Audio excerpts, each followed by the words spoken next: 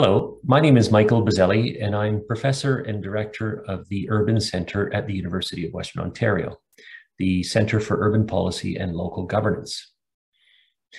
The Centre is the hub of the university's research policy and practice in the areas of urban affairs and urban studies and urban planning issues. This video is about climate change in the city uh, Western's expert panel discussion of London's Climate Emergency Action Plan held on the 31st of March 2022. Many municipalities are developing or have developed climate action plans. Here you see the cover of the City of London's um, published Climate Emergency Action Plan, which was published in February of 2022. Our uh, expert panel was convened to discuss this plan's strengths, what can be improved, and most of all, what can be done in terms of next steps and implementation. And this is particularly important at this point in time because the city is undertaking its public consultation and participation processes. I'd like to thank the Urban Centre's distinguished practitioner research fellow, John Fleming, for moderating our expert panel. And I'd like to thank our panelists as well, Katrina Moser, Martha Paez Domingo, Martin Horak, Megan Stacey, and Dan Leeming. The Urban Center would also like to thank our supporting organizations, the Department of Geography and Environment, the Weeklish Center within the Network of Economic and Social Trends, or NEST at Western, and the Council for Canadian Urbanism. And last but not least, I'd like to thank David Goldblum, James Voogt, Lelania Millet, Angelica Lucacci, Ebenezer Nar, all of the Department of Geography and Environment for helping to put this event together and making sure that it ran smoothly. And I'd also like to thank Leah Huffman and Ali Seven for their uh, support in helping to put this together as well. Thanks to you all. What follows is an insightful, impassioned, and engaging discussion that I hope you find helpful in your own work. If you'd like to reach out to the Urban Center, please do send us an email or follow us on Twitter, and we look forward to hearing from you. Thanks and enjoy. For those of you attending in person, Western requires masks, so we have to wear our masks, unless you're behind this uh, little goldfish bowl here. If you need to leave, there are exits, exits on either end of the room and one at the back so that it, uh, you can take whatever's closest. For those of you attending online, online participants will be muted during the presentation and panel discussion, but will unmute you for asking questions during the question period. For those of you in person, we will repeat your questions so that the online audience can hear it. And we'll also monitor the chat during the presentation, so feel free to post questions there and the moderator will put those questions to the, to the panel as well. I'm gonna now turn it over to my colleague David Goldblum to give a land acknowledgement. Thank you. So at this point, we'd like to acknowledge the land on which we are gathering. For those of us here in person, we acknowledge that Western University is located on the banks of the Deshkan or Antler River on the traditional territories of the Anishinaabeg, Haudenosaunee, the and Chonnonton nations. These lands are connected with the London Township and Sombra Treaties of 1796 and the Dish with One Spoon Covenant Wampum. This land continues to be home to diverse Indigenous people, First Nations, Métis, and Inuit, whom we recognize as contemporary stewards of the land and vital contributors of our society. We recognize too that land here is understood more broadly to mean the environment and the coupling of the land and atmosphere are an important element of climate. We acknowledge the unequal responsibilities that arise from human-induced climate change and the equal impacts that such changes have, especially on Indigenous peoples. I think, are we ready to go to John? Okay, I'll pass it back to Jamie. Thank you. So my great pleasure now to introduce uh, John Fleming, who will be the moderator of our event. John Fleming is probably best known in these parts as the former chief planner of the City of London. He was the managing director and chief planner for a decade, and he did some important city building work during his tenure, including development of the London Plan, and he also created a new climate change division in the, in the uh, planning department. John retired from the city in 2019, but like most retirees, he's become busier. In addition to starting up a planning consulting firm called City Planning Solutions, he's been working with us up here at Western, where he holds the title of distinguished practitioner in residence at the Center for Urban Policy and Governance. And he has also been working on research at the Human Environments Analysis Lab in Geography and Environment and teaching a course in land use and development issues as part of our urban development program. Thank you, John, for organizing this. Thanks for all your contributions up here at Western. Over to you in the panel. All right, thank you very much, Dr. Voogt. Maybe I'll keep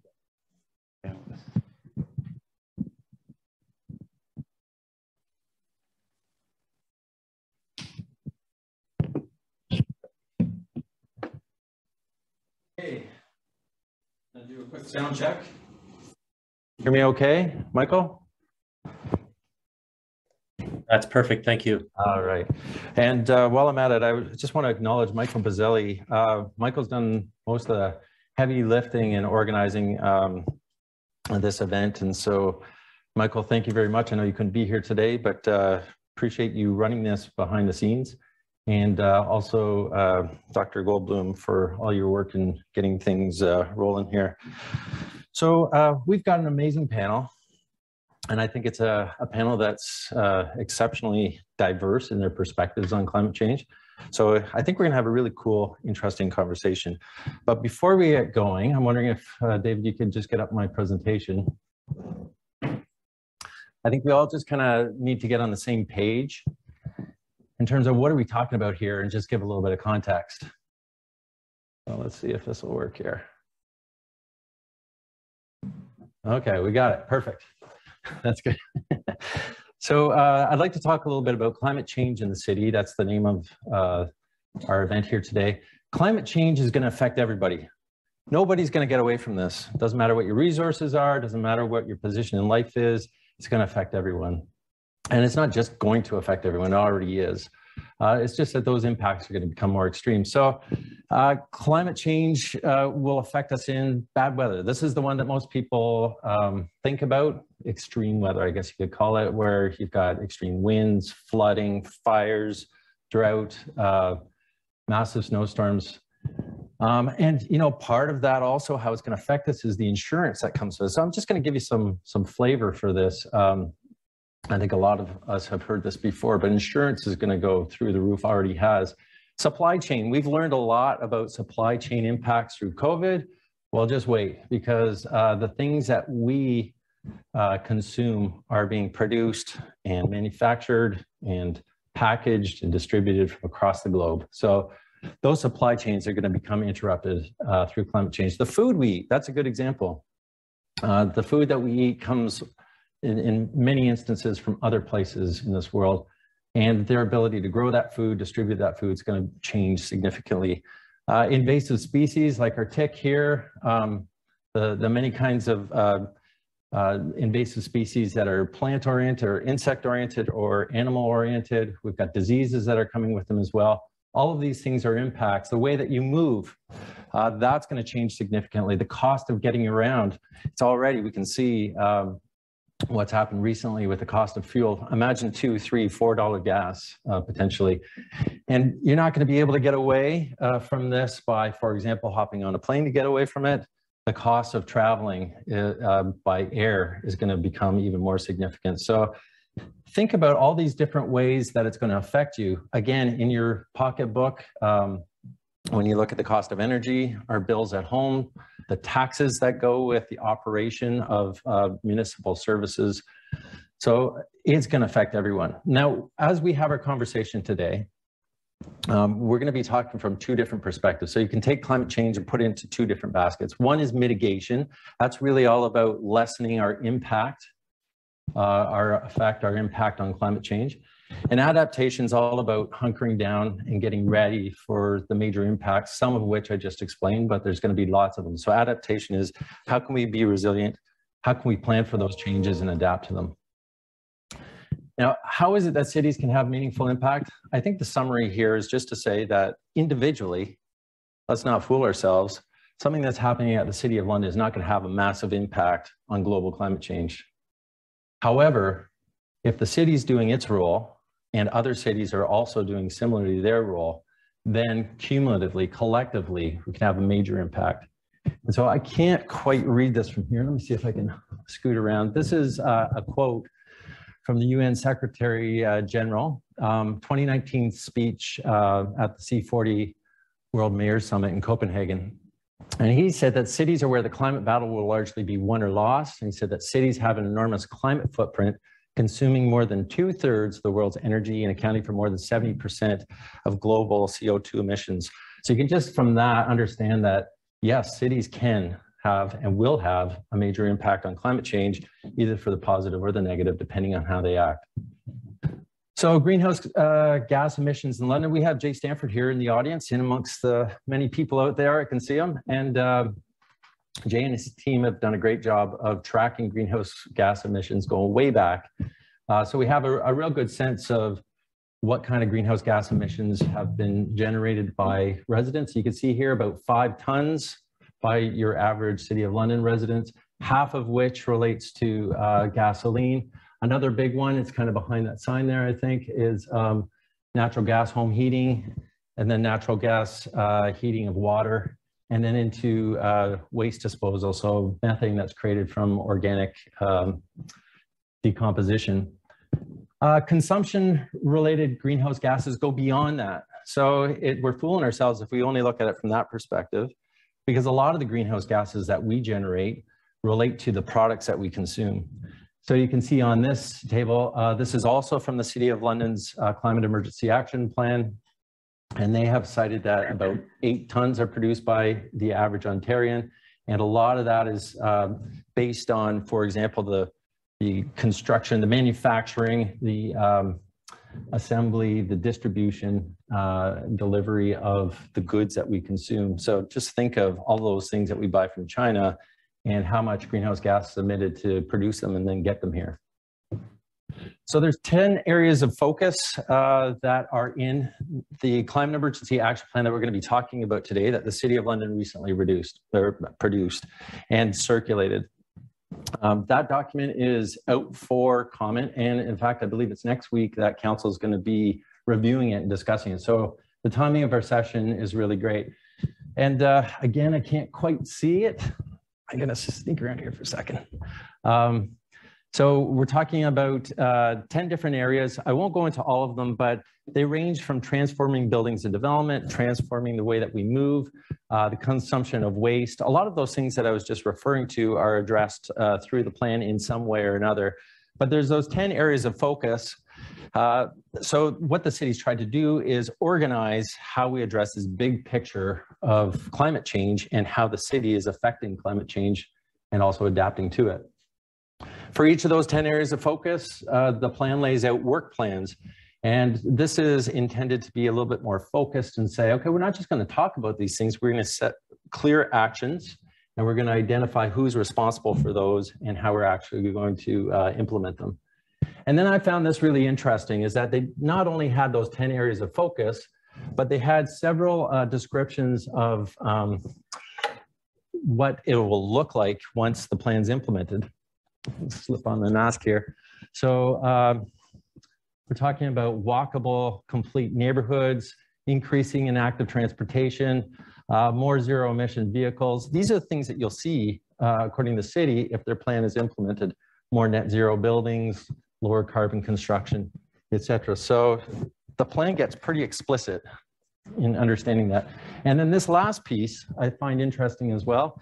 Most plans wouldn't have something like this. But this plan says, hey, the only way we're going to get there, the only way to get this done is if we get these kinds of things. And one of them is a supportive council. So decisions that are supporting the plan. If we get uh, a sustainable uh, funding program, uh, volunteers, media need to be involved and, and push it along. Uh, individuals in the community, community groups, businesses, institutions uh, need to lead by example. Uh, I find that interesting. Lifestyle changes is something that's identified. I think that's a really important piece that the city's identified. Incentives and rewards, etc. So hopefully that sets uh, a little bit of a, a base for us to speak from. Now what I'd like to do is introduce our amazing panel. Uh, you can see that you have four people that are sitting at the table to the right of me, but we also have somebody on the line Dan Leeming, are you there? I'm here. Hey, hey, Dan. So uh, Dan is a partner with Planning Partnership. He's going to be joining us just online uh, by phone. We appreciate you making it, Dan. Uh, he's an extremely well-respected planner in the, the field, but also an extremely well-respected urban designer. Um, he's going to bring a practitioner's view to the conversation. Um, and uh, he is heading up the Resiliency Caucus for the Council for Canadian Urbanism. Um, currently, he's co-authoring an article for Plan Canada called um, So You've Declared a Climate Emergency, Now What? Sounds pretty relevant. Uh, over to the far right is Katrina Moser, Dr. Katrina Moser. She's an associate professor in the Department of Geography and Environmental uh, and Environment at Western University. Um, Katrina is a climate change scientist. She's been at it for 30 years, which is amazing, way ahead of the curve, and uh, very much uh, been doing both science-based research and teaching on climate change. And uh, what she said to me in our initial conversations with is that she thinks we need a new way forward to tackle climate change. Uh, next, coming this way uh, at the table is Megan uh, Stacey. Megan, can you just wave to the crowd? So Megan is somebody who watches the politics in London's City Hall every day. Uh, Megan's a journalist with the London Free Press. And that is, I believe, still the place that most Londoners get their local news. Uh, and thank goodness Megan is always there at every meeting. Every, every time I was at a meeting, Megan was at a meeting. Um, but uh, you don't see journalists on panels like this very often. And it's because we tend to focus on those that have subject specific expertise. And I think what um, Megan's bringing to the table is something that is really valuable to the conversation. Um, people I, I, found in the media really have a good understanding of the pulse of the community. They understand how decisions are made at, at the municipal council table. And if you ever want to know what's happening at municipal council, hop on to Megan's uh, Twitter feed because she's at these meetings and she's tweeting out for everyone to sort of follow along. It's, it's really amazing. Now, while I'm on the subject of politics, let's go to uh, Dr. Martin Horak. Um, uh, Martin is a professor in political science at Western University. He's also the associate director at the Center for Urban Policy and Local Governance, uh, which is the group that is leading the charge here today, uh, together with Department of Geography and Environment. Um, he's an expert on the politics of government processes and actions, often quoted here in London see them in the paper all the time, probably speaking to Megan. so there you go. You're right beside each other. You can have a conversation. And uh, we, we know that governments work through political decision making. So the politics of climate change are extremely important when you're considering what is actually happening when the rubber hits the road. And then finally, right beside me here is Martha Paez Domingo. Uh, Martha is a master's student in the Department of Geography and Environment at Western University. And through our discussions, I learned that she's already building her career in some really great ways with experiences in places like Parks Canada, Natural Resources Canada, and some environmental NGOs. Uh, she's very interested in the social and economic perspectives of climate change, and she brings uh, also a perspective of youth. Not to say that the others on the panel are young, just like me, but uh, yeah, I think it's also that valuable perspective of somebody that's in that uh, generation that's going to be seeing a lot of climate change and uh, is really looking for things uh, that are meaningful to be done. So what I'm going to do is maybe I'll just follow the order. We'll go from Katrina this way and uh, ask you for two minutes each just to give your sort of opening salvo. And it could be, you know, what interests you about um, climate change in the city or how cities uh, relate to climate change, or um, specifically the city's plan and uh, what your perspective is on that. And I'm gonna, we agreed as a panel um, that we're gonna be nice and tight with this for two minutes. So if I interrupt them and say, hey, 10 seconds left, then they're not gonna be mad at me, right? Okay, over to you, Katrina, thank you. Uh, can you hear me? Yes, okay. can hear you just fine, thanks. Okay, so uh, as John said, I'm Katrina Moser and uh, a professor here in geography and environment at Western. And uh, just to give you a little bit of my background and where I'm coming from uh, at this panel today, I, um, as John mentioned, I've been studying climate change for 30 years. I first got interested at a, um, a talk by Stephen Schneider, who's a really well-known climate scientist. And uh, that was the first time I heard that humans were causing climates to change. And I was just incredibly interested in this topic. I ended up doing my graduate work um, trying to understand how ecosystems respond to climate change, how they responded in the past, hoping to use that information to help understand how they might change in the future. And um, I, uh, since then, became really interested in climate change and education and uh, actually working with uh, Dr. Jamie Vu, who's here in the audience, we developed a course on climate change science. And the idea was to provide knowledge to people about climate change, and in particular, the climate change science. And uh, after teaching it for a few years, I had um, a student after class come to me and say, you know, Dr. Moser, I really like your course, but I'm very depressed listening to your lectures. And uh, that really moved me, really shifted my thinking. Um, I went on sabbatical the following year. I talked to a lot of people, thought a lot about the course, and made some big changes to the course with a new purpose, not only to provide people with the knowledge of climate change, but also to empower students to become engaged and make changes uh, towards making a better future for themselves. And uh, I'm still working on that course and I'm, uh, I'll talk a bit more about this later, but I've been working with a team now of um, educators and we've been trying to weave together um, Indigenous knowledge and climate change science to make an online course to be available to everybody to again try and empower people to make change so that's that's where i'm coming from uh, to this discussion today so i will pass it on to you, you megan thank you Thank you so much. So I wanted to start by saying this week at City Hall, there was a committee meeting where a city councilor talked about delay caused by lack of ambition. And Council Helmer wasn't talking about climate change or climate change action exactly. He was talking about capital spending. But I thought, what a good phrase. You could probably apply that to so many council debates. Um, but, you know, to really sum up that idea of what the debates that are happening, you know, in council chambers or these days on Zoom mostly, but you know, those political debates, how does that translate to the day-to-day city building, you know, what's what's happening out here? And to me, that's kind of this critical but almost unspoken element of this plan and of London's, you know, climate emergency action is what appetite is there to lead the charge to make that change um, you know and to provide that that leadership that's obviously needed from city council. Uh, you know, is there that political will and how far does it extend, uh, you know, to actually drive forward a plan, any plan, this plan perhaps, um, and different elements and, and, you know, really lead the charge there.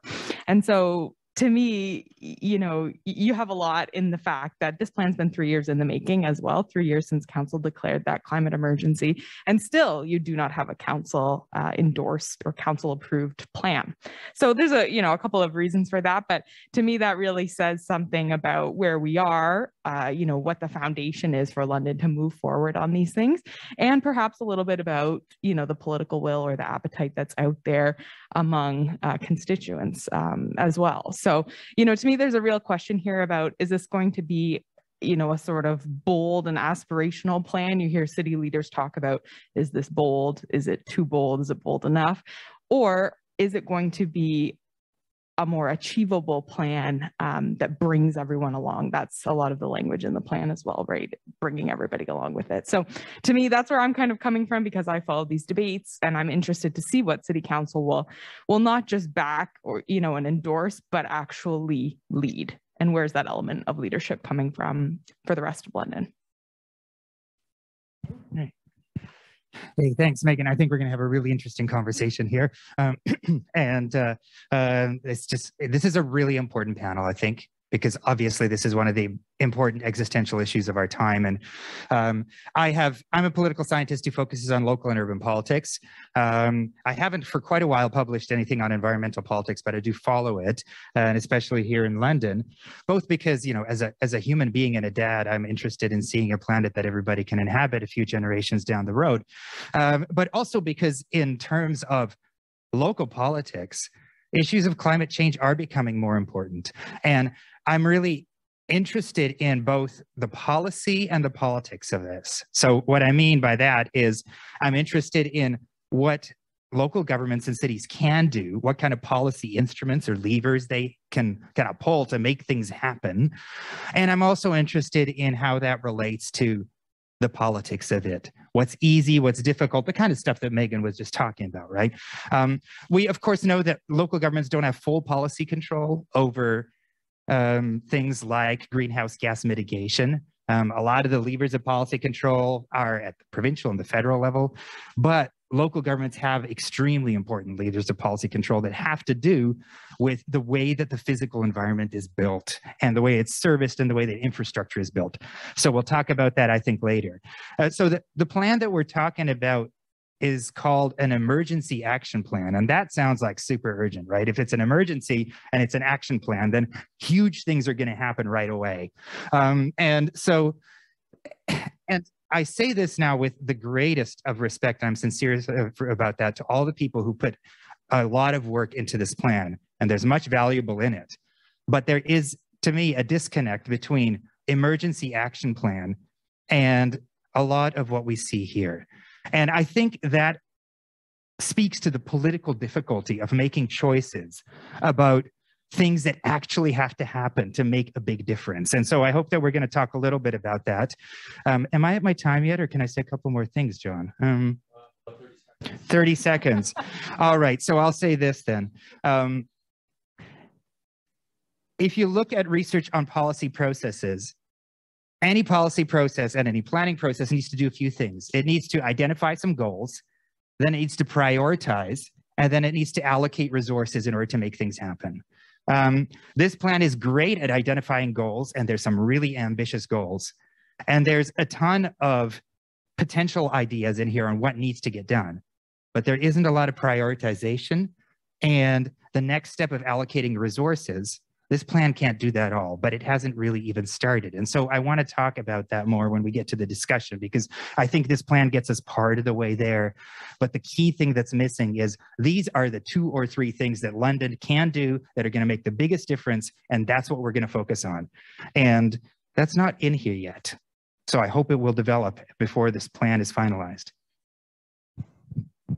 So, hi everyone, I'm Martha. As John mentioned, I really became interested in climate change back in my teenage years, then deciding to study geography for my undergrad and for my master's. And my master's work really focuses on the economic and social dimensions of climate change. So I'm really interested in the, uh, the equity solutions that are in the climate plan. So that's kind of where I come from. And speaking a little bit to the plan, I think in Canada today, at the beginning of 2022, there have been over 516 cities that have declared a climate emergency.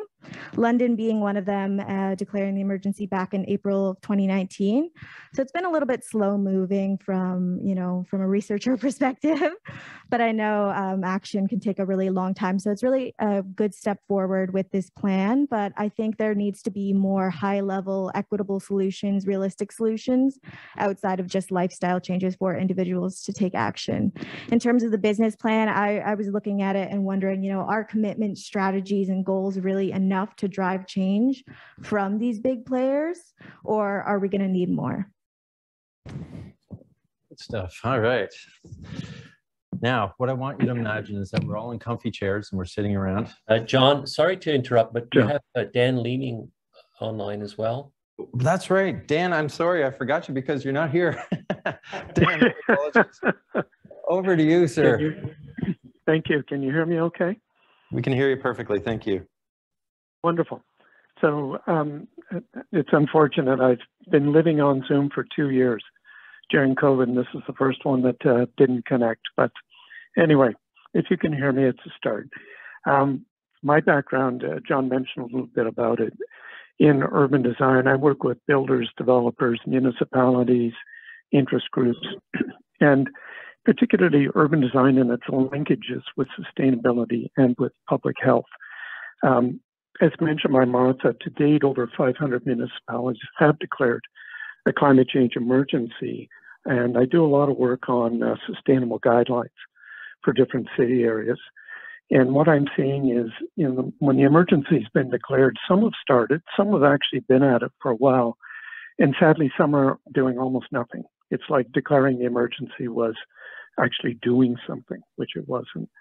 But it's good to see London's very thorough approach. I've been reading background material, feels like for a couple of days now, on uh, what you're what you're working on.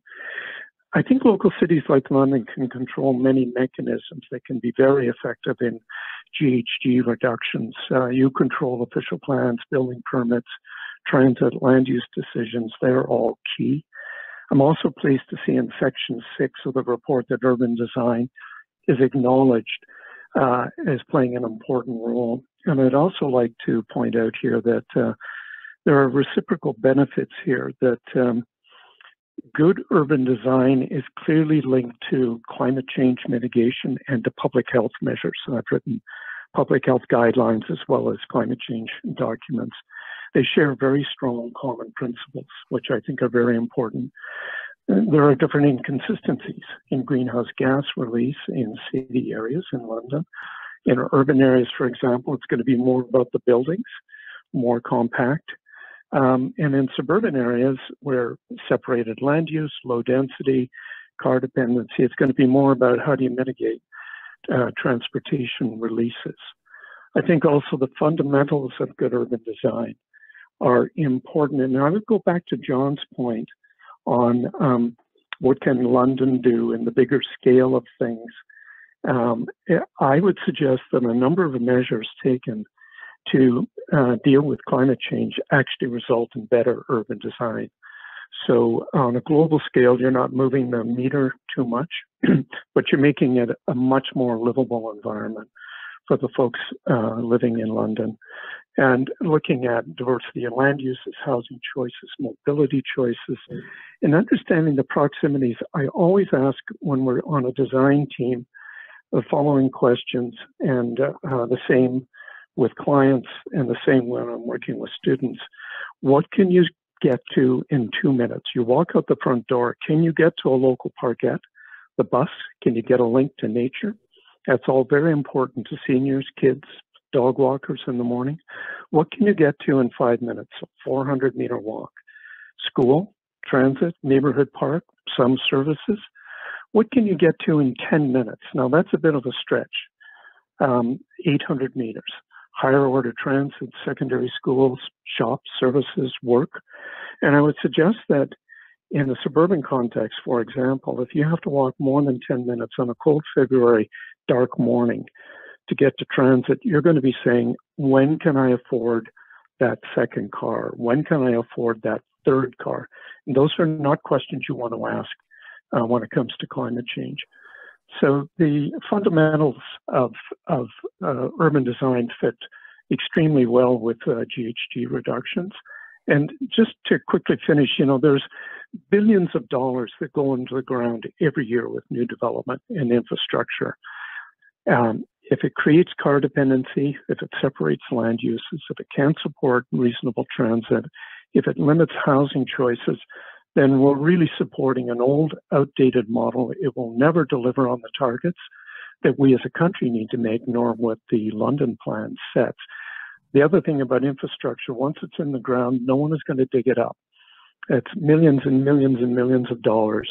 It's going to be there for its life generation, probably 20, 30, 40 years. And that's a huge lost opportunity. You're looking at net zero in 2050. It's hard to achieve. I've tried this with community design. It'll, it's going to require political will, smart policies, and the innovation of the building and technology sectors. I'll leave it there, John. That's great, Dan. Thank you very much. Um, and all that stuff is I get really excited about because it's planning and design stuff. Um, so I'd, I'd, like to start now from the comfy chairs, um, speaking with uh, Martin, I, I, would like to ask you a question because you were really rolling there. And um, you as, as, as a, a professor that deals with local politics and understands what's happening across the country and, and the world, in fact, and uh, uh, how cities operate. I'm just wondering if you can tell us what do you think that the most important levers are to the City of London that are available to the municipality that can have a real impact on greenhouse gas uh, emissions. And the second part of that is, if that's more global, what are the levers? And then how do you think the plan that's been prepared takes advantage of those? Okay. Um, yeah, thanks, John. Um, so in terms of what the levers are, actually, a lot um, a lot of what we just heard actually right? Uh, uh, that's that local governments have control over what we, what we often call the built environment. Um, and that control over the built environment has a huge impact on emissions right? Uh, so i think i think you showed this on the screen. The you showed the relative um, proportion of emissions in london from different sources right? Mm -hmm. so the top two sources by far are personal vehicles i.e cars number one like 45% of all emissions in London come from driving cars. Um, and then next, home heating, right, uh, with a close second, natural gas, right? So patterns of car use and patterns of housing are things that local governments have a lot of influence over, right? Because they control planning and development processes, as Dan was saying. Um, so there's a few different policy levers that I think are really important at the local level. And first, I'll talk generally, then I'll talk London a little mm -hmm. bit, mm-hmm. right? So I think in general terms, first of all, there's of course the, the land use planning process, which Dan was talking about. Right, so land use planning sets where housing is going to build, be built, how it's going to be connected through transportation, how far apart the housing is, um, how big the housing is, where other services are. And all of that cumulatively has a huge impact on our emissions right? Um, so I, I, looked this up the other day when I was thinking about this panel. In 2019, um, the city of Toronto had about 30% lower per capita emissions than the city of London, mm-hmm. uh, using the same methodology for figuring out the emissions. And that's not because Torontonians are such great environmentalists compared to Londoners. It's just that Londoners live farther apart, they use cars more. And on average, they live in bigger houses Am I well. hearing you right? You're saying, so, listen, if you're all spread out, doesn't matter how many solar panels you put on those roofs, you're still going to have. Yeah, well, it matters a little. It matters a little, but you know, I think the you know being really spread out in London is actually a really big part of the problem, right? And so urban planning can address those things. And in fact, we have in London the plan that you really helped to spearhead, the London plan, that already encourages the city to grow more compactly. But it's not mentioned that much. It is referenced in this plan, but uh, this plan doesn't really kind of like lean into the London plan. And I think that's one thing that this plan could really do, is really emphasize that the London plan has a lot of foundations for building a more compact city and that we should build on that. For example, by using another policy tool, which could be really important. In Ontario, Developers are charged money for being able to develop, right? It's called development charges. Many of you know about this. Um, in London currently, there's standard development charges, for example, for one unit of housing. As part of developing the principles of the London plan, we could be in London differentiating those development charges based on the carbon impact, anticipated carbon impact of a development. Is it in the center of town? Is it way out in the suburbs on acreages, right? The worst thing for emissions is 4,000 square foot houses on acreages, right? Um, so there's all of those kinds of elements. The other the other set of policy tools that I think is really important has to do with infrastructure and especially transportation infrastructure. All right, so uh, the city is responsible for building, maintaining transportation and transit systems. Um, and of course, if all the housing is spread out, then higher order public transit, subways and BRT doesn't make sense. So you got to get the housing picture right as well. But there's also a lot of policy leverage to be gained from how a city chooses to invest in its transportation system right? And so one of the key things and this is mentioned in the plan a little bit but again it get lot it gets lost in a sea of other things in this plan all of which are important but which are much smaller right? So one of the main things that the city of london could do is to really shift investments from road infrastructure to transit infrastructure. Right? And there's been a conversation about this. And I'm sure Megan will talk about this. There's a political problem in London, right?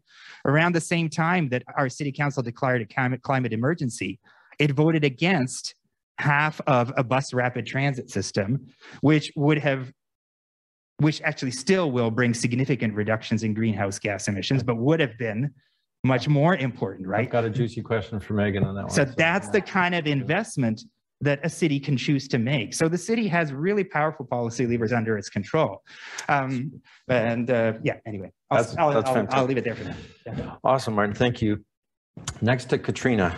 Um, so what, what surprised me in our conversation, Katrina, is that you're a climate change scientist and um, you know you're dealing with the science of it, and yet you talk a lot about societal shift. And so I'm wondering if you can just expand on that for us a little bit about what what's the importance from that perspective uh, in your view, and how does the action plan that the city's prepared here um, address that that aspect? Yeah, so uh, I want to pick up on a couple things that uh, Megan and um, Martin said as well in answering this question. Um, you know, Megan, you talked about a delay in action. And uh, as someone who's been watching the climate story unfold for 30 years, I feel there's been a huge delay in action. And this is why I'm pushing this idea that we need more, uh, a deeper change uh, a societal change, a paradigm shift in our thinking if we're really going to tackle climate change. And um, I totally agree with you, Martin, about the sprawl in London. Um, I think we have to think about that in our societal shift. So where my ideas are coming from are actually, I've had the great privilege of working with a couple people, Sarah May Chitty, who's Anishinaabe, and um, also Serena Mendesbol, who's from the uh, Six Nations of the Grand River. And they are teaching me, they're teaching me a lot. And I think if we could build on uh, Indigenous perspectives, we could um, really make the kinds of change we need. So things I'm thinking about are much greater respect for the land, the water, our atmosphere. And also, um, I think it's really, really important that we only use, we only take what we actually need. And these are, maybe it seems simple what I'm saying, but we don't do it. And uh, you just gave a lot of great examples of that, Martin. When we, I drive out Oxford Road towards um, Gideon Road, uh, it's just incredible how much growth there is out there. And people have accused me of being against development. I'm not against development. I'm not against people having homes, but I don't see respect for the land. I don't see respect for the Thames River. I don't see respect for the atmosphere when I look at that. And when I ask people, you're building houses out here, and now you're saying we also need to expand the road because there's too much traffic. How is that responding to climate change? How is that putting us on the right uh, road forward? So that's what I'm meaning when I talk about a societal shift. And I don't see that in the plan. The plan, I, I want to commend uh, the city for putting the plan together and for, um, it's an incredible amount of work. There's no question about it. But I, I really feel strongly that if we're going to uh, make an impact here, it's going to have to have core values that are underpinning that plan. And I don't see that. Um, so I'll leave it at that. And Great. Thank, thank you. Katrina. That's great. And one thing I, uh, you know, again, it's, it's really interesting. We'll get into this a little bit deeper, but um, beyond the science is the politics and the way that we operate as humans in our society. And those are two really tough things to take on. Um, but so instrumental uh, in where we land on any climate change plan. And I just want to point out, you know, we're talking about the City of London's draft plan, which, as I think everyone said, is it's pretty amazing what's been pulled together here. But it's also a springboard for other communities across the country, some of which have prepared plans like this, but others that are still preparing them. So, you know, I think municipalities are wrestling with this and that piece of societal change And that relates to what's palatable in terms of politics. So I'm going to go to you then, Megan, on that, and then I'm going to come back to Martha and Dan. And, and so what's palatable politically is what's going to dictate what happens from here. So you and I have sat together in some rooms where we've seen some really good, I think, public uh, initiatives that we're going to affect certain people. So affect, um, in some cases, powerful people, in some cases, everyday people. And uh, so the politics are pushback. So it's the people, the community pushback on, on uh, local politicians. And this is happening again across uh, the country, across uh, the globe, I'm sure, in cities. So my question to you is, do you think that there is at the local level, so maybe generally first and then more specifically to the City of London, are, is there that operational space or political space for politicians to actually make those difficult decisions that are needed to get us from where we are to where we need to get to. And particularly when there's pushback from people saying, what you're talking about is going to make me less comfortable, it's going to be inconvenient, it's going to cost me more, you know, those kinds of things. Can local government actually do it based on what you've seen? Man, it's such a good question, John. And the thing that comes to mind for me, and another reason why I think the timing here is very uh, interesting and potentially problematic, is where are you in the four year cycle, right? Where are you in the four year council term? And where we are right now is just a little bit more than six months out from a municipal election. And I thought this this was never more evident, I thought, than on the very initial debate that council had about this plan, which was very muted because the plan was just intended to be tabled and then come back next week as we as we know for this public meeting and you know more public and uh, and political debate. And I think you saw that tension on city council, right? About what is palatable, not just for you know, an elected official, but for their constituents who they're going to have to answer to at the ballot box, you know, in a few months. And so I think uh, it was really interesting for me to notice, uh, you know, who's making the strongest statements on council about uh, providing leadership, about charging ahead with this plan. And you know, it's not to say there are definitely some uh, councillors who have indicated that they're going to be running again who who are stepping up and saying this is a plan that we need to um, we need to invest in and we need to lead but some of the strongest champions i think are folks who have either declared they're not going to run again or who we can kind of deduce may not run again and to me that was really interesting right do you have it do you need that freedom of i'm not going to have the check and balance of my ward you know, saying, sorry, too bad, you know, we don't feel the same about the, the bold action that's needed here. We care more about our property taxes or whatever the case may be, right? Uh, and so, you know, you asked, is there that space? Is there room? I mean, I think so, but I think we have to acknowledge too the kind of uh, ambition or what's the word you know in a sense bravery to say this is so important that i'm going to push it ahead even if it loses me some votes right and there's of course the flip side where you're probably going to gain some votes too right but to me this is a really interesting um, shift and not to be too general about it, but I think you see that a little bit in um, in different generations or different ages, perhaps, right? Maybe different wards too make up across the city. It's really interesting, and so I think that's going to play a huge role. This election factor is how far are politicians willing to push it, and I, I really love the examples that Martin gave. Right? I mean, we're talking about things like uh, the London plan, how we grow. We're talking about our housing strategy. John, you mentioned, you know,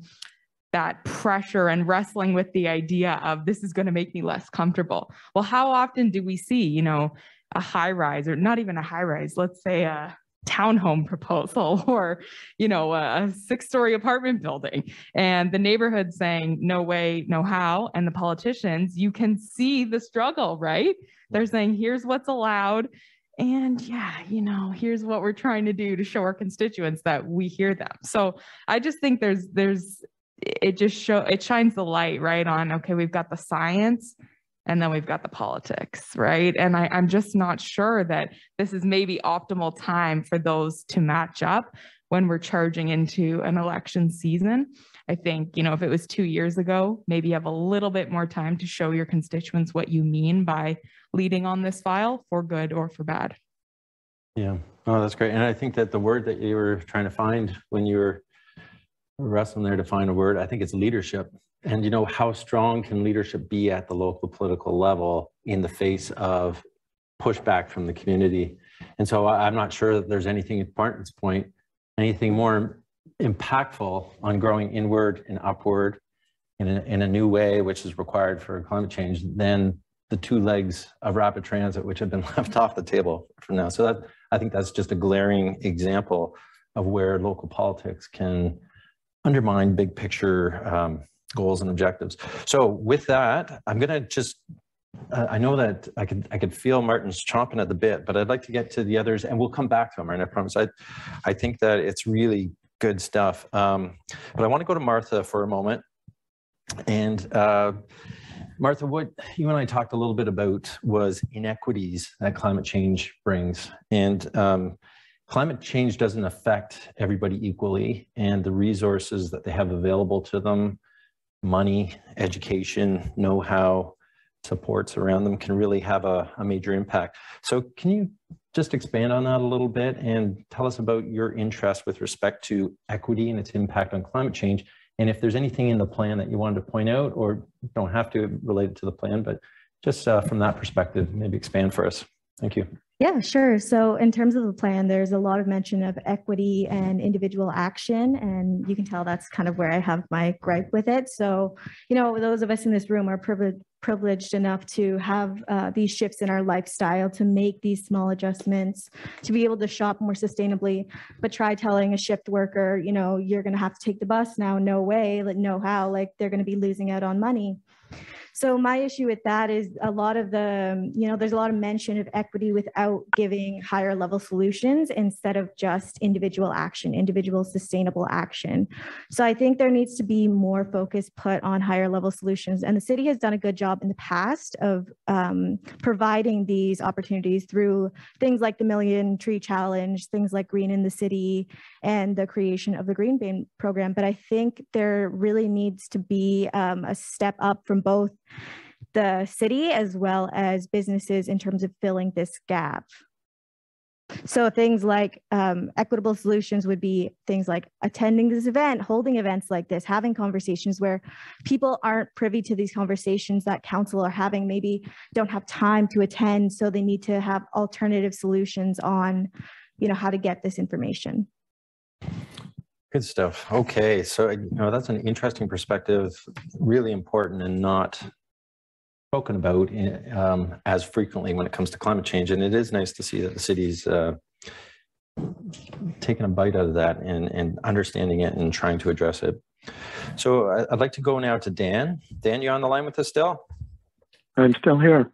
You did a great job in your opening remarks talking about urban design and how uh, the, the shape of a city, macro, a neighborhood, maybe one level down, streetscapes and buildings, how all of those things really affect the way that people use their communities. And so the impact that it has on, on greenhouse gas emissions. But I'd, I'd like to just uh, turn to um, something that you deal with regularly, and that is the private sector and the development community. And I'm wondering if you can tell us what your thoughts are on how the development community would likely view this plan. We don't want to put words in anybody's mouths. Um, uh, so I'm not suggesting that you're representing uh, the thoughts of our development community here, but you deal with these uh, types of um, communities, development uh, industries across the country. So what are your thoughts? Uh, how do you think they'll be reacting and uh, how would they perceive this plan? Well, it, it it's interesting because um, uh, the development industry is the industry that really builds our housing. Um, and in a competitive market, they can do that effectively. But the concerns that they have, and they have told me about, and right, to a great extent, it's logical, and I agree, and sometimes I butt heads with it. But um, the first thing a, a developer is going to look at facing a new plan, um, in particular, if it's a it's coalesced into a, um, a sustainability guideline document that's going to require aspiration as well as mandatory proof of what's being done, how targets are being met. One is going to be timing. When's it going to happen? How long is it going to take? And when I submit a plan, are you going to be able to deal with it? Or am I going to get messed around um, because people need education, timing, need to refer back, and so on? Another one is they're going to look at the um, the extent of mandatory issues. Is the technology available? Who who is good at building it? I've worked with builders where new tech has been put in, and sadly, two years later the guy's broke, um, and it's hard to get parts for things. One of the huge components they're going to look at is market response. Most big sophisticated developers won't budge unless they have a clear indication, usually done through focus groups, of where is the market? Who wants to live here? What do they want? Uh, the good thing is it's no longer there. People are just looking at a, a smart looking kitchen. They're looking at a smart neighborhood. Where's the school? What's functional? What are the bigger components? Where's the park? They're going to look at um, competition. There needs to be the proverbial level playing field. Um, if you're going to impose standards on me and it's going to raise the cost of housing, um, what about the guy in the, uh, you know, across the road or in the next municipality? If he can sell a house for $15,000 less than I can, I'm at a disadvantage and can't compete. So they're going to worry about that. And then they're also going to look for costs. What, what are the costs to bring uh, these uh, um, uh, more advanced heading to 2030, 2050, all of the implications there. I would add the other side of this story is kind of interesting. And to Megan's point, the reluctance for change in the um, urban design guideline documents we just got approved in the town of Whitby um, a couple of years ago, actually just a year and a half ago.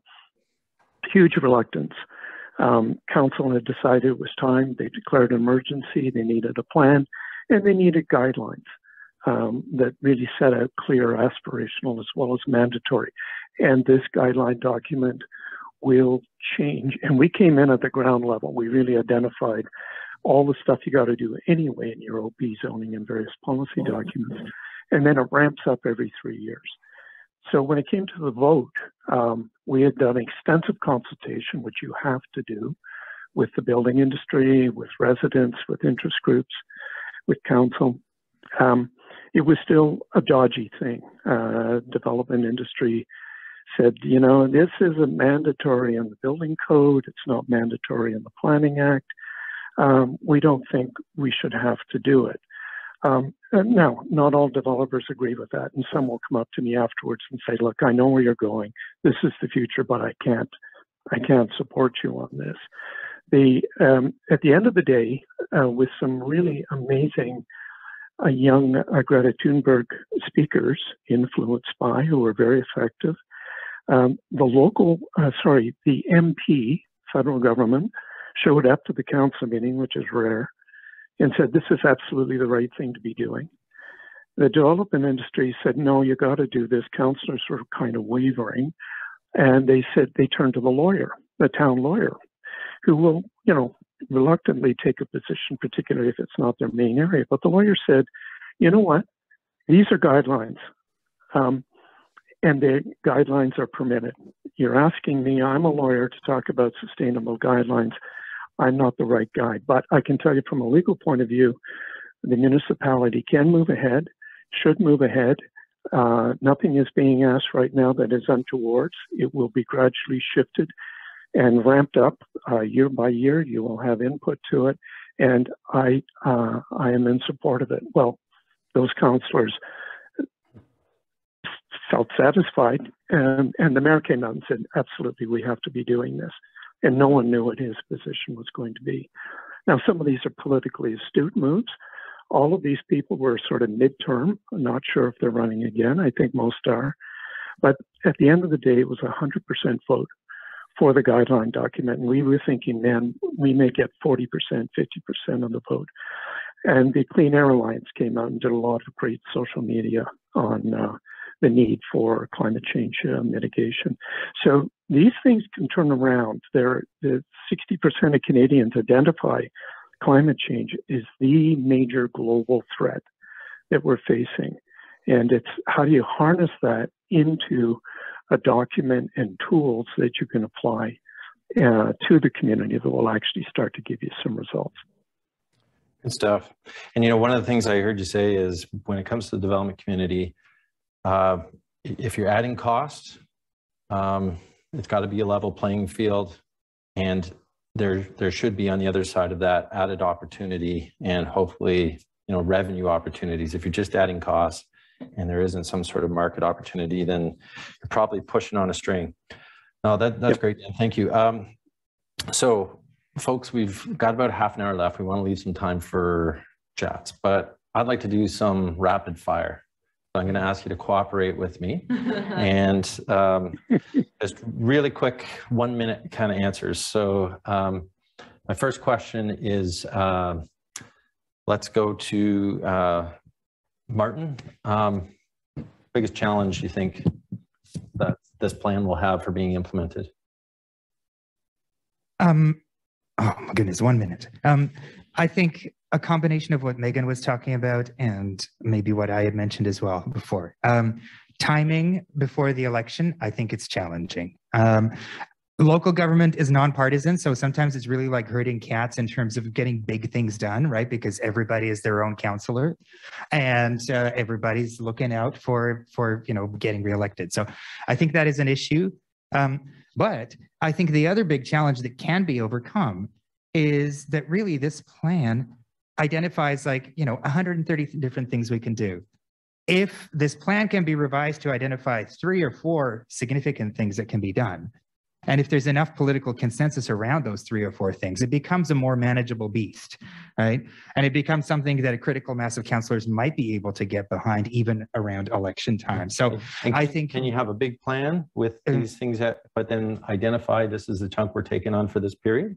Exactly, yeah. So you have the big plan, but the big plan also identifies kind of, as it were, kind of the low hanging fruit, the, the, the significant things that can be done right away, yeah. right? Okay. Okay. If, if there's political consensus around a couple of those, then that gets the ball rolling, right? right? Okay. Mm. Megan, I've noticed when I tweet anything about climate change, I don't get a lot of retweets.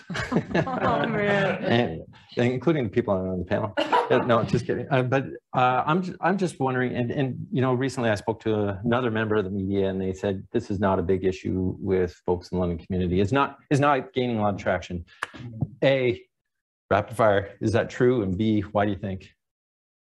You know, that's so interesting, John. And again, without trying to paint too broad paint London with too broad of a brush. Um, you know, I think you see in the reaction to the plan, or maybe in the reaction to your tweets, you know, people are in many ways, I think there's a segment of London, anyways, that you know wants council to address um, the the nuts and bolts thing. Somebody just wrote in about the plan, you know, saying to council, "Hey, this isn't your lane, right? like literally stay in the lane, fill the potholes, kind of a thing." And so I think there is, you know, a big segment of our population that says, uh, sure, this is all lovely. The plan looks interesting. Uh, and, you know, what's it going to cost me?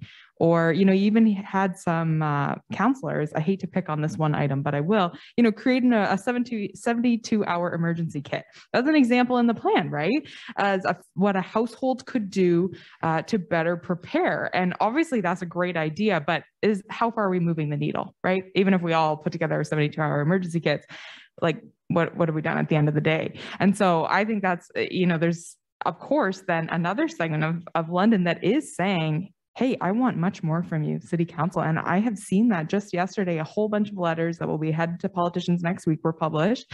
And there are a lot of environmental advocates and a lot of londoners saying hey not only do you need to speed this up like get the show on the road approve this plan I also want to see more. And I just wanted to bounce off uh, some of Martin's points because one of the demands, and it was clearly a form letter that went around, so grain of salt, but was, you know, hey, council, why don't you attach term goals, right? Like create priorities for a council term so that you are held accountable. It's not just, you know, 200 actions here and, oh, maybe we'll get them done in the next 20 years, maybe we won't. Attach those term limits so there's some accountability for the politicians, because I do think we're still going to be facing that push pull every four years, right? Okay, I'm going to ask Dan a question, but I'm just going to put Katrina on notice that I'm going to ask you what one thing would you suggest is like an a paramount, one or two. I, oh, so I'll give you some time to think about that. Okay, okay. Yeah. Um, Dan, what Yes. uh, do you like about this plan? There's lots to like, um, and it's you know a huge positive step forward. Any thoughts? What do you really like about it? I think you've done a lot of work, and I think I, it I haven't, I haven't done anything. okay. the city, the city, yes.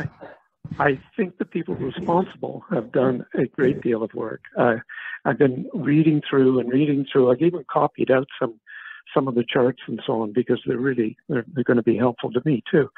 And um, I think that the um, the amount of background, the research, and what's happening in London, its perspective within Ontario, within Canada, and then the local measures that need to be taken um, are are clearly thought out.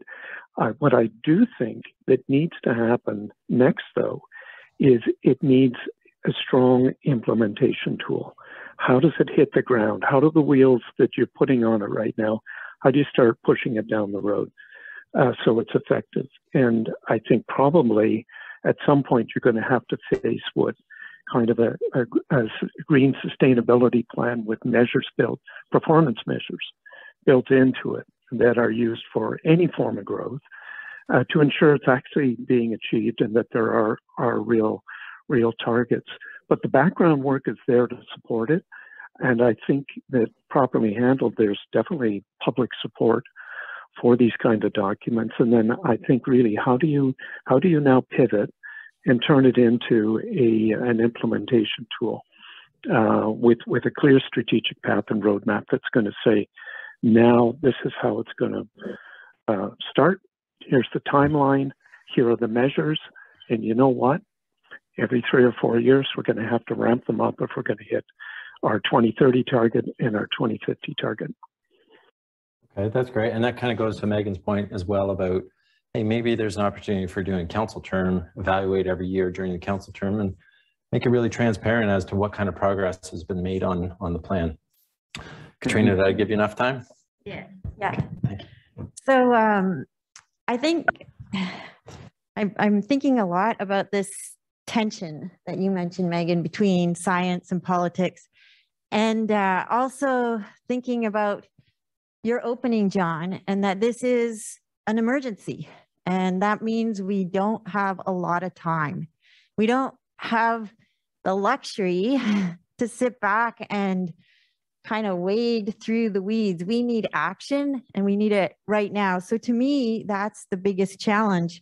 And as you were speaking, Megan, I kept thinking, I feel like I'm in a, uh, a don't look up moment. Like we just can't mess around. We need to do, we need to take action. I think transportation is key in London. And I think public transit, rapid transit are really, really important and are discussed in the plan. But I think we need really specific targets.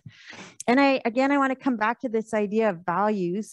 And uh, I think when I think about being a politician and I think about being a leader and being faced with an emergency, I don't want to elect someone who's thinking, is this palatable for my con constituents? I want to elect someone who's thinking, how do I make sure future generations have a, what, you know, a happy life? That's what you should be thinking about. And I, I think the other really important thing is I work with young people all the time. And if you talk to young people, they are very um, keen to see change and to tackle climate change. And so I think as a politician, you want to be reaching out to those people right now because it's their, you know, we have six to 17 years. Uh, and if we stay on the emission pathway we are right now, we will be at one and a half degrees warmer than the average. So that's a very short period of time when you're talking about monumental change that needs to happen. So that to me is the biggest challenge is time. And quick point, and then we're gonna go to questions from the group, um, and I'll explain that in just one. So, um, yeah, I'm just wondering, Martha, uh, rapid fire. Um, what did you like about the plan? What is it that uh, yeah, so I really liked kind of the foundation that the plan laid, talking about how, um, like the emissions. So, for example, 95% of emissions of GHG emissions come from energy use, and that can further be broken down into heating, cooling, and um, vehicle use. In addition to that, there was a survey in that that talked about Londoners and their environmental literacy. So, I think on a scale of like one to 10, the average Londoner answered eight. So I think that speaks to how Londoners are very actively engaged and knowledgeable around climate change. And it's kind of time to move past that awareness and education phase and into the action. Uh, Martin, you look like you want oh. your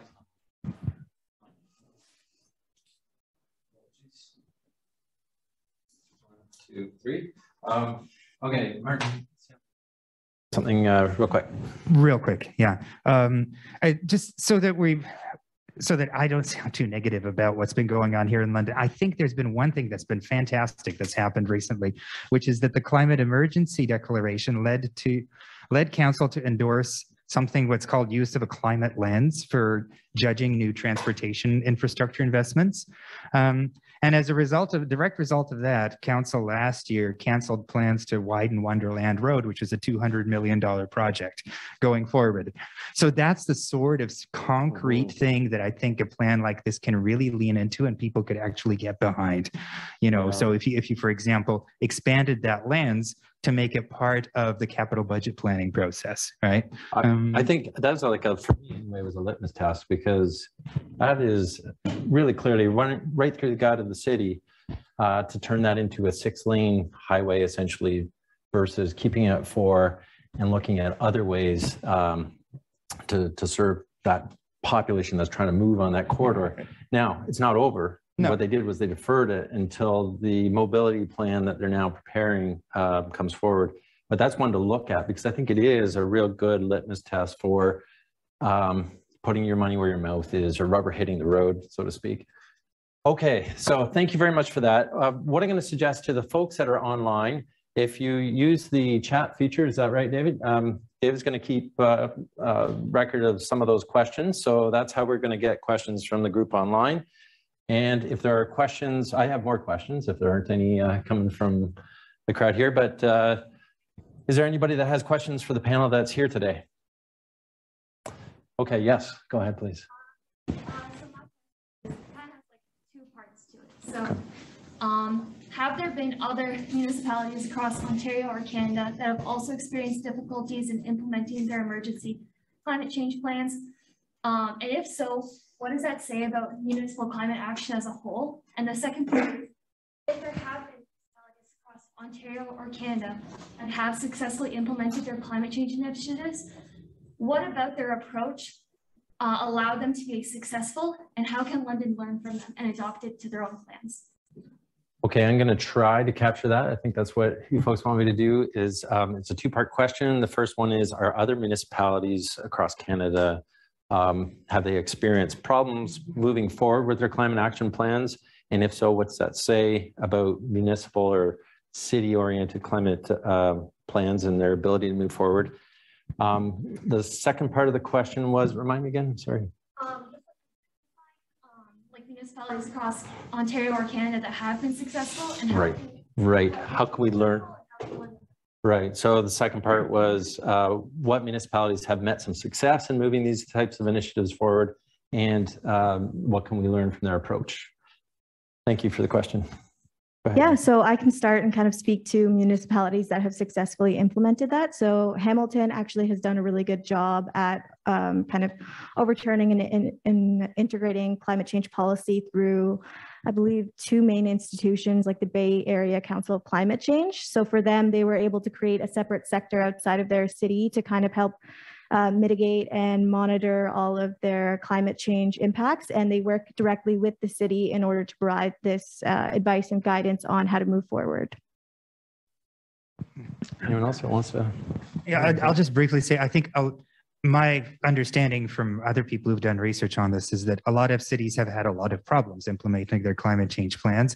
Um, and I mean, I think it speaks to the underlying kind of fundamental tension, right? That, uh, you know, people want change in the abstract, but people still don't want to give up their cars and their single family houses and things like this, right? So we are asking people these plans ultimately ask people to also agree to make fundamental changes, and local governments are very responsive to local populations, actually. Right? So if local people really don't actually want it, it's probably actually not going to happen.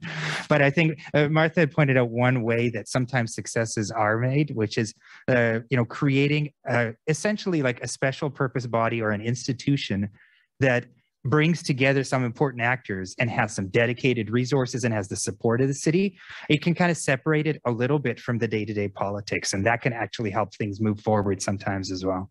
Um, you, you, know, something that's missing, uh, can you, am I on?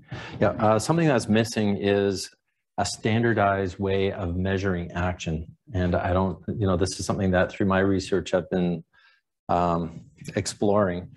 But wouldn't it be interesting if not do you have an action plan, but what action are you taking?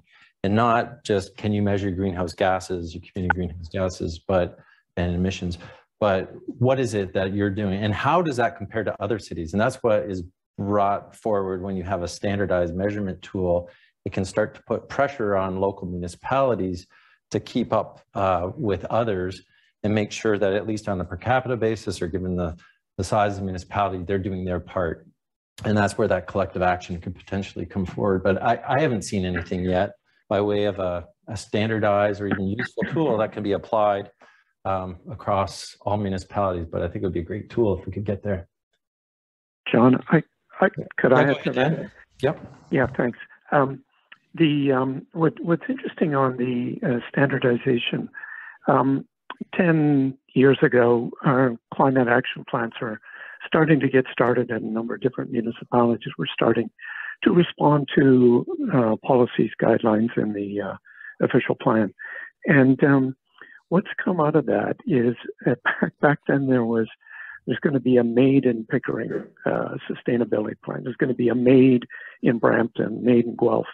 And people began to realize uh, that when it comes down to the nuts and bolts of actually measuring energy, measuring uh, air quality, using the indicators to give you a good idea of greenhouse gas release and, and the effect.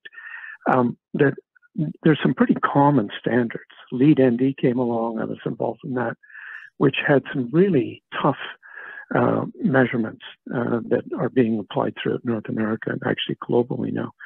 But a number of local municipalities have been borrowing from one another in, in a very um, positive way the kinds of steps and measures that are needed in order to understand um, if you're if you've got an effective program and how do you how do you leverage change? How do you leverage change in the marketplace?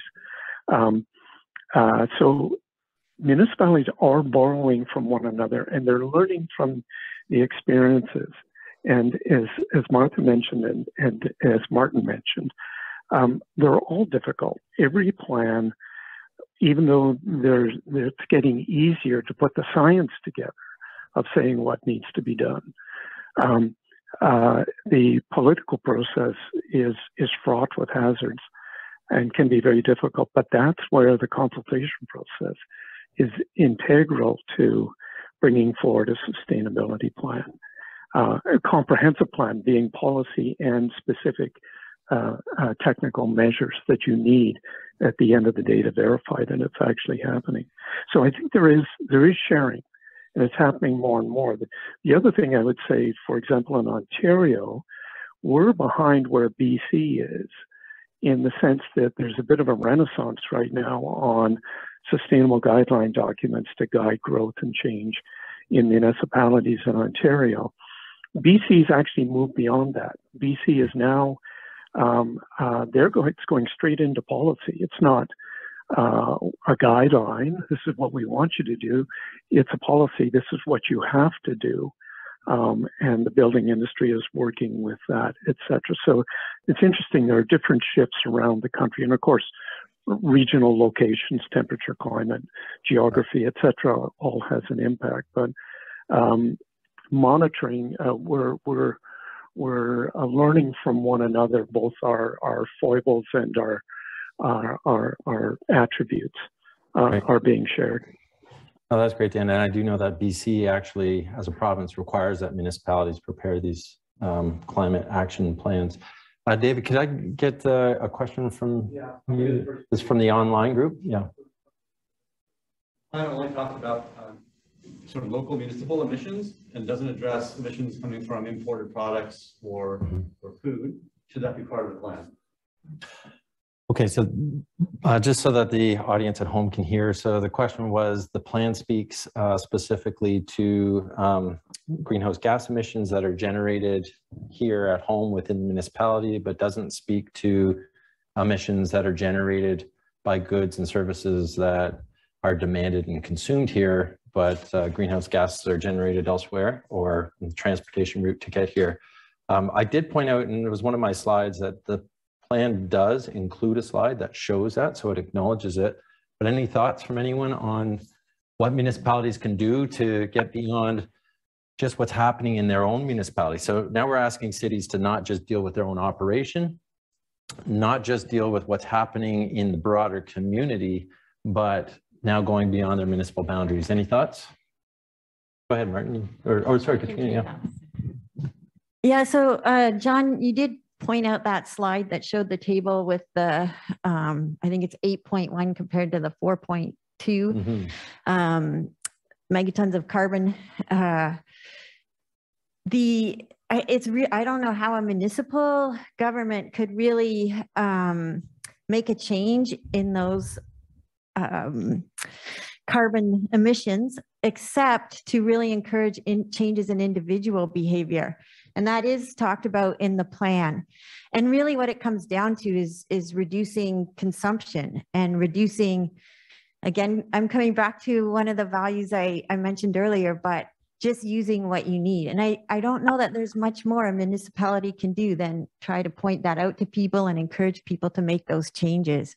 Mm-hmm. So yeah, it's funny because people don't think back very often to reduce, reuse, recycle and how it was, you know, when I was growing up as a kid, I'd take a, a can and throw it in the garbage. Now it feels like sacrilege, but it's all about that societal shift, the, the way that people's um, thinking about things goes. And yeah, I think that's a really interesting point.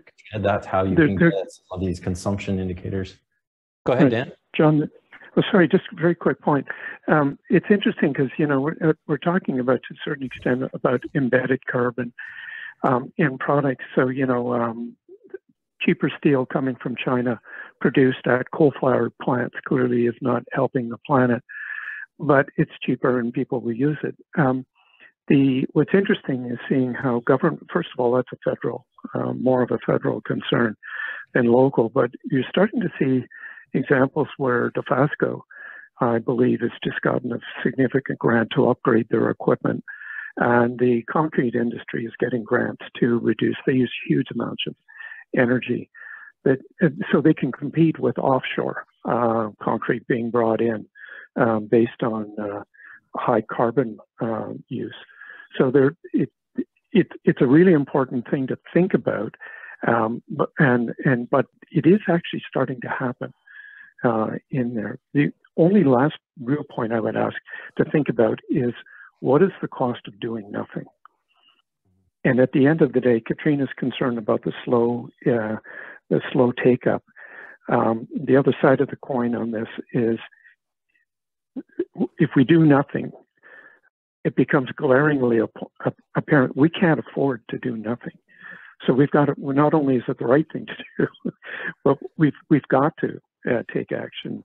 Uh, Windsor just did a study on flooding because uh, they got water on two sites and they realized that they do nothing. The cost is going to be several billion dollars in a few years that could be ameliorated by starting to deal with it much sooner. So um, I think we always need to ask that question too. Yeah, oh, that's great, Dan. Thank you. Uh, Martin. Yeah, and of course, uh, we're already dealing with the cost of doing nothing because we were putting more and more into mitigation and we have to. And we didn't talk about that, but that's also part of the plan, right? Um, but I just wanted to reinforce what Katrina was saying that I think, well, first of all, I don't actually, the, the quick answer to the question is no, I don't think the plan should be directly trying to address questions of emissions that are produced elsewhere um, because it's already, I think, trying to take on too much in some ways. But even if we narrow the objectives of the plan to a certain number of key changes, those have knock-on effects.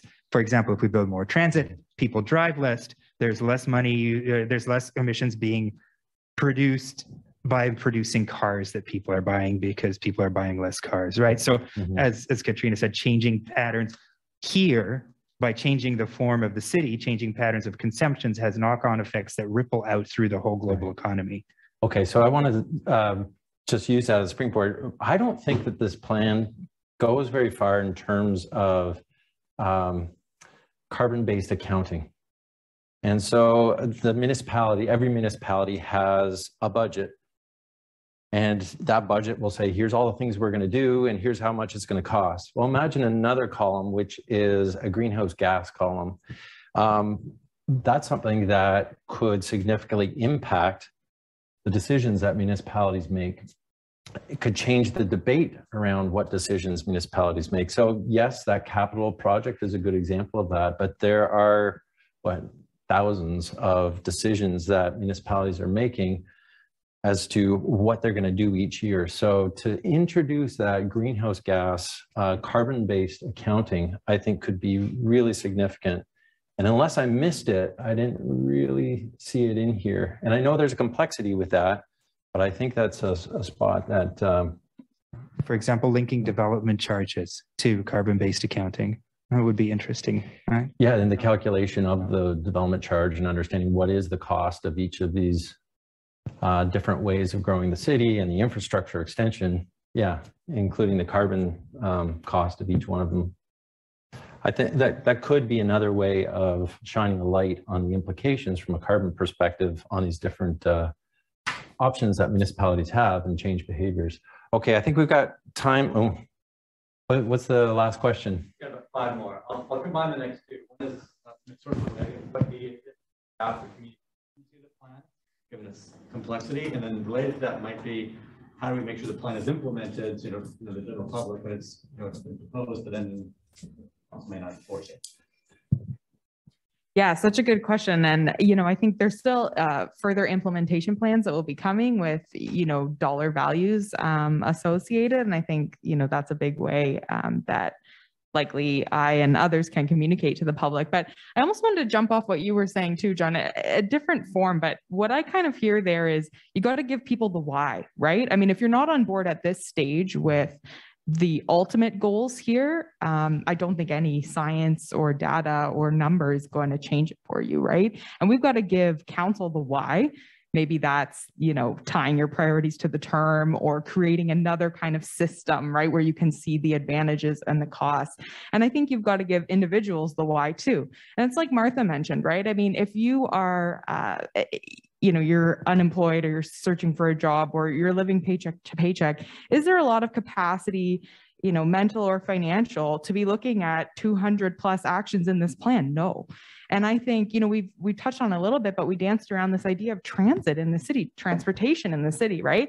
I mean this is a community that has major transit troubles. You can't even get a bus to your job in some cases, right? Key employment areas like industrial parks. And yet this plan is talking about reducing car trips by a third to a half in like by 2030. I mean, what like the disconnect there, right? And I'm glad we brought up the Wonderland Road. I think it's the same opportunity, um, opportunity and demand there, right? You had some councillors who were against canceling or deferring that project. And I think what they're really saying is what are the alternatives, right? We got to give people a why. If, if you don't have time to deal with this, let's talk about why something else is going to benefit you, how you're going to be able to use transit to get around the city more effectively, or how we're going to provide opportunities for you to get on board, um, you know, if the reasons or the background right now isn't doing it for you. Good stuff. I think that we need to wrap up. I think we could talk about this for another hour or two, but unfortunately it's 5.30. Unless somebody tells me otherwise, I think we should wrap up. I'll, I'll, come to you, Jay, and I was going to do exactly that. Um, Uh, well, let's let's start there. Um, I think that I, I want to point out again that this plan is out, uh, has been out for conversation. There's been lots of uh, opportunity already, but it is a public meeting that's coming up. Jay, did you want to speak to that and tell us the time, or did you have something else you wanted to say? Two things, John, and thanks for a few extra comments here. On public meeting is on Tuesday, next Tuesday. Tuesday. Tuesday at four o'clock. First item on the agenda, which is wonderful. Most important though here is I, I have quick questions. Just kidding. what, what committee is it at, just if people are looking online? It's called Strategic Priorities and Policy Committee. Okay, Strategic Priorities and Policy Committee, 4 o'clock p.m. on Tuesday next week. And people can get on, watch it online and also participate. And I, I think, correct me if I'm wrong, but if they want to speak at it, they need to, in advance, send an... All those details are on our website, how to do that. Okay. A number of people signed up for that already, I believe. Okay, if you want to speak, you need to register and go to the website. Um, is that the, the Climate Emergency Action Plan website? No, no. No. Go to the council meetings website. Council meetings website, look for SPPC or Strategic Priorities Policy Committee, and then you'll see how to register. Register and you'll be able to speak at this meeting. Do it in advance though, don't wait till the day of. Okay, thanks Jay. Go ahead. Ron, what I want to say from the thank you so much for setting this up. Dialogue, comment, debate is vital for all of us moving forward. A big part of the team working on a document like this, hearing comments, positive, negative, in between, that's what we do. That's how we build better products. All I say though is one thing, when we all live here today, what are the actions you're going to take? Because personal actions matter. 50% of our greenhouse gas is from the people in this room. So just don't always look at big business and urban development uh, or the developer per se. Always say to yourself, I want to live better. You have a big say. All those other pieces are important, but it's about individuals and we can move a mountain without a doubt. Yeah. Thanks, John. Thank you, Jay. Thanks for your leadership. And I know uh, Mike and Pat and um, Jamie, Allison, I'm probably forgetting others, but uh, great, great team. And Kelly. And university. Deep in our document, you'll see the connections we need to make with academia, with volunteer groups, with the London Development Institute, with the London Home Builders Association. They're all getting on board one way or another on the plan. We'll get through either soon or very soon. That's great. And I think that what you've heard from the panel as well today is that timing is of the essence. It's good to debate these things, but it would be a tragedy if things dragged out even further because things don't end up getting adopted for a protracted period. Uh, I, I, think you're absolutely right, Jay. Um, conversation on climate change in the local setting, in any setting, uh, I think is really critical. And the more conversation, the better. I want to thank the Center for Urban Policy Local Governance, um, the Department of Geography and Environment for hosting this session for that very reason. I see um, that we've got uh, Zach Taylor here as well, from who's also Associate Director at the Center for Urban Policy Local Governance, I believe. And so thanks very much uh, to you, Martin, um, and all the rest at the center for putting this on. Uh, also, uh, many thanks to, and let's see, I have to make sure I get it right, the Center for Climate Change, Sustainable Livelihoods and Health here at Western, as well as the Council for Canadian Urbanism, who supported the event and uh, made it happen today. Um, I want to thank the panel. Panel, you were awesome. I wish we had another half hour at least to chat, um, but you've been great. Could hear it from the crowd. Um, so thank you for your time. I know that you're all very busy and it means a lot for you to be here to talk about this important issue. Uh, is there anything I'm forgetting? Because if not, I'm going to wrap it up then. Again, thanks everyone that is out there in the audience, both in person and online. And uh, please stay engaged and uh, do what you can to address this uh, major issue that's going to affect us all. Thank you.